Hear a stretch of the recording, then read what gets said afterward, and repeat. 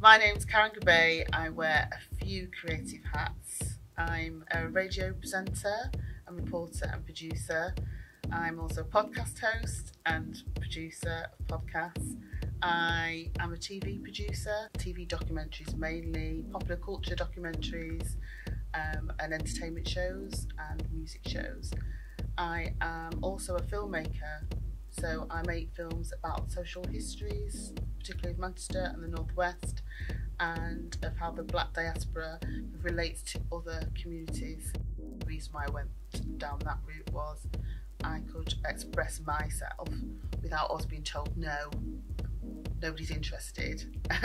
and, and I could also give other people a voice who are constantly saying, I've got a story to tell, I've achieved this, other people have achieved this. And by going into that arena, it has allowed me to do that over the last decade. Diversity is a word that's thrown about a lot, and I mean, when I think of diversity, I mean about class, about people who are often seen as not deemed to be right.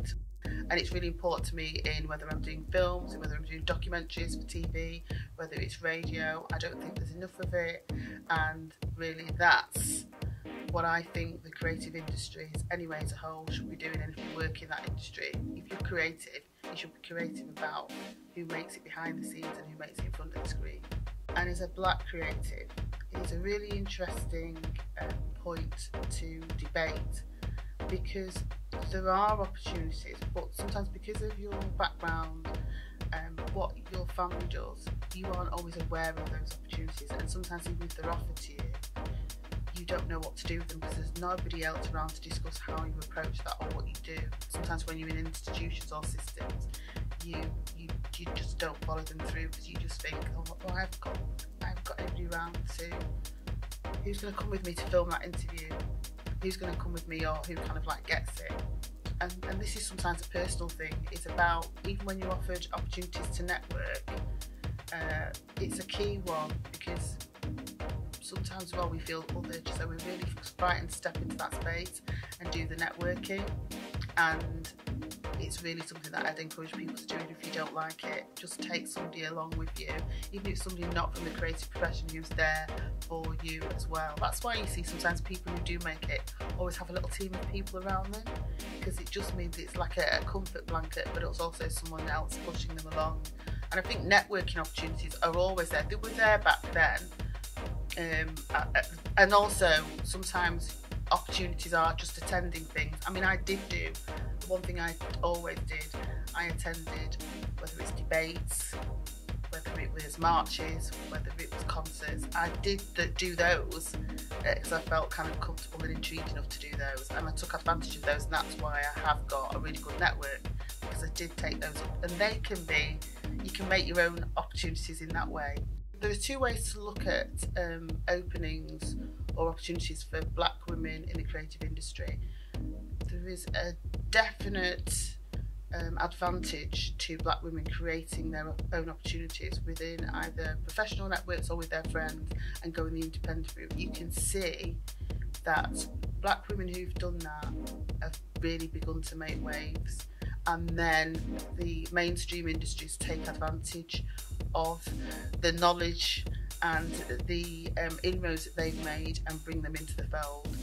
And also, it allows you, as a black woman, to do things from your own perspective. As regards to being a black woman trying to get into mainstream established companies and industries, I think it's harder than it has ever been. I still think no matter how well you do, you're always asked to uh, sometimes go a step kind of lower or to prove yourself because you still feel like um, if you don't do well, they're just going to replace you by another black person because it's because it's still that there can't be a, a, group of you as black people. It's still one or two that will have on a team.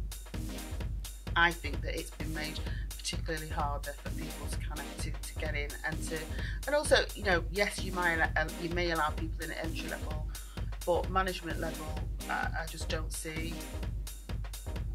black creative women. I couldn't list you endless numbers of black women in the creative industries who are heads of companies.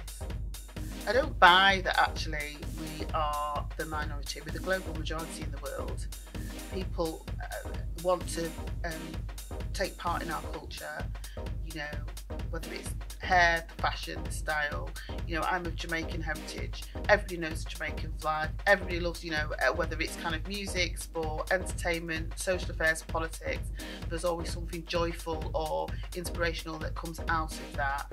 And you know, uh, so you can't say that even though it's a small island, that it's not got an impact. It's the same as Ireland is a small island, but it's had a massive impact on the world with the, the biggest bands, you know, politicians that you know about, poets that you know about, and I just don't buy that always going. Well, there's only six percent of people that you're talking to. No, there isn't, because the other majority of people uh, love that culture and that's the that's the biggest part of it. And I don't see why it's so difficult to understand anyway to try and and and, and um, understand somebody's point of view. If they are a minority what's the harm in just including that in your vision? So I think I find that the most challenging trying to get people to understand that you know, I've had some amazing times working in the industry, and if I hadn't gone into the industry, I would have just lived a life full of regrets because I have had some kind of like great moments, and I have had some laughs, and I have had some of the best times. I've made some wonderful programs that I'm really proud of for TV. I've made films of my own that I'm incredibly proud of. Um, but I just would, um, I just think that, as I've said before, the playing field should be kind of like more evened out. Americans say that there are teachable moments and one of the highlights of my career was when I wanted to celebrate a um, series of um, African American actors and also um, white actors who'd taken part in a series called Roots. It took some time to get the celebration documentary off the ground, but a lot of the cast involved in that and the writers had also had to make sacrifices in order to make it happen and um, when we went to America to talk to them, I got pep talks off every single one of them about, you know, it's important sometimes if you believe in something to kind of like stay with it and follow through because there will be people who support you. Look, we're all supporting you, you know. So basically, they all decided to make the pact to come through and take part. And um, there's a woman who I'm going to mention who is a trailblazer. She's called Bethann Hardison. Bethann Hardison is Tyson Beckford's agent, manager, and Naomi Campbell's. But she was a real activist about changing um, how models of colour, black models, were viewed in the industry. And she agreed also to take part in this series because she was always like, remember the power of you know, just remember the power of your positivity and what you kind of like want to achieve. So she even turned up on the set to, to do an interview, but she said, I'm just here to be with you to support you. And it was just sometimes when you think you've got to believe in people, haven't you? And it was a great moment that so Bethann turned up in New York. She found, what I'm mentioning her was the, one of the leads I couldn't find, my colleagues couldn't find. She just decided to move part of the year to Mexico, and she said, "Oh, Olivia, who you're looking for lives up the mountain where I've moved to in this remote part of Mexico." Olivia came down the mountain, and it took a day to travel to New York, and came and did the interview. But now we talk about for the culture, don't we? The culture's important. If we can come together, um, we can support each other. And so, as well as just taking part in it, it was also good to know, to, just to remind you that um, believe in people because they will support you. And the guy who's commissioned it was a white commissioner from white head of TV from the UK called Brian Cargill, and he's passed away now. And um, he was one who'd commissioned a lot of the diverse programs back in the 70s. And he also gave me pep talk and said, you know,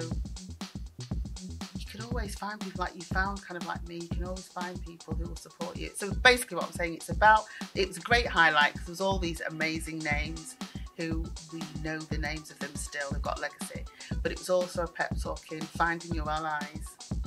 And sometimes I don't think we're taught to do that. In the last year, there's been great talk, hasn't there, since George Floyd about allyship. But that was a lesson they really taught me about, you know, find your allies and sometimes don't dismiss um, what you think people will offer and give to you and support you. So an amazing piece of advice I got from Candy Dulfer, who's a jazz musician, was about how you navigate the industry. So I'm a big Prince fan, as people know. She um, had been touring with Prince for some time, and Prince adored her, but she wanted to get on and do her own thing. She wanted to go back. She'd had a great career. She wanted to go back to it, and um, as a female, it's it's sometimes hard to kind of like speak up and let your voice be heard. So she said um, she told me about that story and what she did, and then her advice was if you ever feel that people aren't listening to you, um, or and you really want to kind of pursue your vision, just write a letter. Or if somebody does something to you in the industry, and they might not realise the impact of what they're doing, or they're not really hearing you, then um, write them a letter and tell them how you feel. I asked Maya Angelou for an interview, and Maya Angelou changed her mind and said no, just to really at the last minute. So I wrote her a letter. And um, she changed her mind. And a few years after that, there's a couple of times she had birthday parties in England and I got invited. But it's but the key point of it is about sometimes it's hard to express yourself and you get frustrated, don't you? Or you don't know why somebody's something could have happened and you just like it's another way to express yourself to write a letter. Don't be afraid to ask questions, no matter how silly you think that question may be. Um, everybody comes from a different background, everybody has different openings to information, and if you don't ask questions, that kind of stays with you as you go through your career, and you might be really good at, at, at getting things right. But by not asking questions, you can miss things, and you don't have the great understanding of being in that arena that you could have had if you'd asked questions. Even if somebody wants to laugh at you for asking that question you don't know, you still need the answer. And network with people outside of your group so that you can be somebody you can call, even if you've got an idea who can give you a different perspective. My um, the slogan that I like to uh, use um, as one of affirmation is something that a lot of creatives who have really felt that they were about to turn their back on their career and an opportune moment has happened and he switched it around and it's if you dream it you can be it.